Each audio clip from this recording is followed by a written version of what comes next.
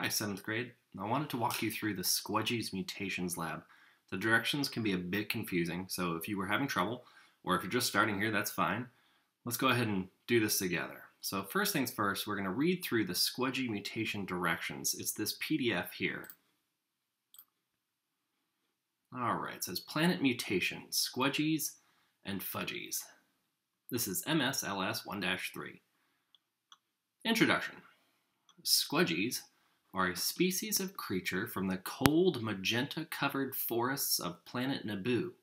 Squdgies, with thick, fuzzy fur, are able to stay warm enough to survive in this harsh environment. Squdgies are peaceful creatures, but they are hunted by a scary monster species called Fudgies. Fast, fuzzy, magenta-colored Squdgies that can blend into the forest and outrun the Fudgies are able to live and reproduce better than other Squdgies. That is important. Fast, fuzzy, magenta colored Squdgies that can blend into the forest and outrun Fudgies are able to live and reproduce. Here's the problem. A newborn baby Squdgy was just born to a slow, magenta colored mommy Squdgy with four spots and fuzzy fur. But the baby Squdgy's genes have been mutated. Your job is to determine what effect would each mutation have on the proteins coded for in the baby Squdgy? What effect would each mutation have on the traits of the baby Squdgy? And would these effects be beneficial, harmful, or neutral, which means no effect for the baby Squdgy's ability to survive and reproduce? Let's talk about genetics. The traits of the squdgies, which determine how well it will be able to survive in the forest, are determined by four different genes located on chromosome number 3. The proteins, which each gene codes for, are determined by a three-letter code in the gene. Use the information below to learn about the genes of the mommy squdgy. So this is the mommy's the mommy squdgy's genes and her resulting traits. So here we go, the speed gene. The speed gene of the mommy squdgy has a code of UGU. This is the three letters that code in that gene for the protein and the trait she has. So UGU. This codes for a protein called sloanine, which causes the squdgy to be slow. Number two, the color gene. The color gene of the mommy squdgy has a code of CCA. This codes for a protein called magenta globin, which makes the squdgy magenta colored. Number three, the spot gene. The spot gene of the mommy squdgy has a code UGA. This codes for a protein called quadranine, which gives the squdgy four spots. Finally, the fuzziness gene. The fuzziness gene of the mommy squdgy has code CGA. This codes for a protein called fuzzolin, which gives the squdgy very fuzzy fur. Okay, so that's the mommy squdgy. These are her genes and her proteins and her traits. All right, the mutation station. Squdgies reproduce asexually, so baby Squdgy's genes should be an exact copy of mommy Squdgy's. You'll recall that asexual reproduction results in a copy of genes, so the baby Squdgy's genes should be an exact copy of mommy Squdgy's, but its genes have been mutated. Use the steps below to determine how your Squdgy's genes have been mutated and the resulting effect on the Squdgy's proteins and traits. For each gene, roll the dice and use the data table to determine the resulting gene code for each. Fill in the Squdgy mutation table with the resulting code for each gene. You'll notice that there's four genes. There's the speed, color, spots, and fuzz.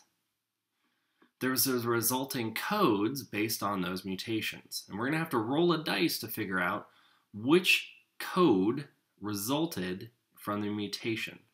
Now, I don't know about you, but I don't have dice lying around. Now, that's a pretty simple fix. If you go to Google and you type dice roller, Google just so happens to have a dice for you to roll. You can click, sorry, click the roll button. It'll give you a random number. So this will count for our dice rolls. All right, so I'm gonna roll the dice one, two, three, four times, once for speed, once for color, spots, and fuzz, and I'll figure out the resulting code for each of those mutations. Now, this is a good point to pause and go ahead and start our classwork.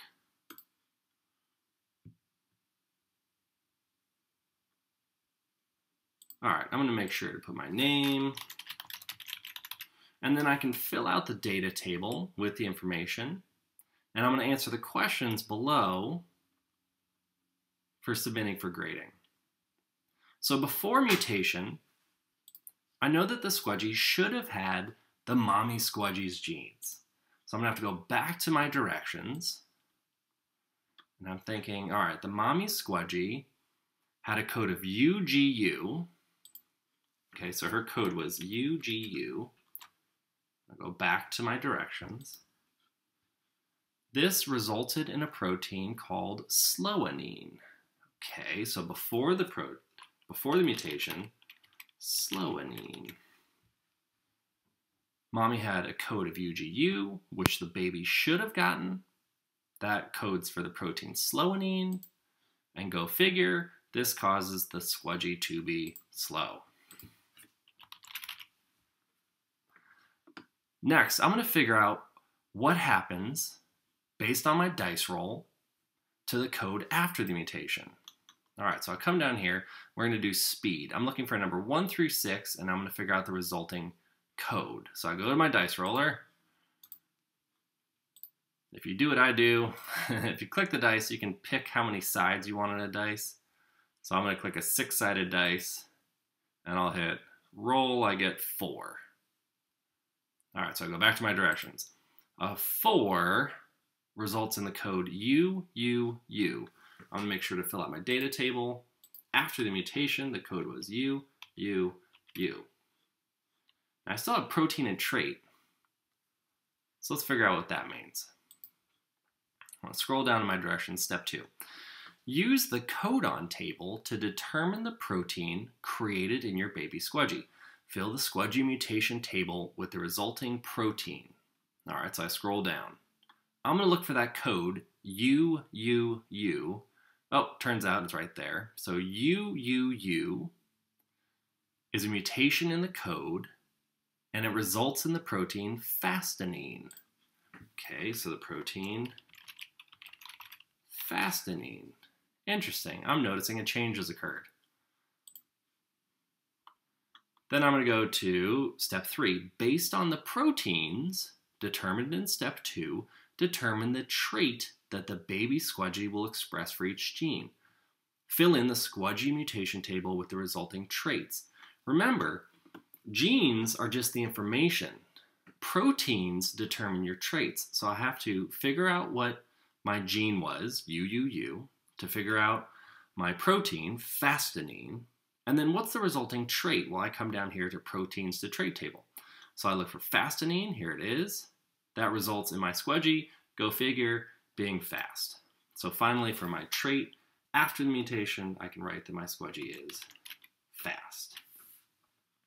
Now, I'm going to do the exact same steps for the color, spots, and fuzz genes. Remember, before the mutation, baby squdgy should have gotten mommy squdgy's genes. She reproduces asexually, so baby squdgy should be a clone a mutation occurred, which means that the codes and possibly proteins and traits might be different. For each one of them, make sure to roll the dice and record the new gene, figure out what that gene codes for, which protein it codes for, and then finally, which trait would result. Once you have all that, then you can answer the questions. again, for conclusions, it says type your answer below each question. So under one, where it says, for each of the four genes, describe the structural changes to the gene, you could start writing your answer in the space below. If you're curious how we're going to grade you, the rubric has been attached. And like always, please feel free to email collaborators to make sure that we get an email when you're ready for us to grade your work, or if you just need some help or hints on how to move forward. Hopefully that helps. If you have any other questions, feel free to reach out to Ms. Santiago or myself. We're available pretty much all the time. Um, if you're struggling, that's understandable. Reach out if you hit a wall. Good luck.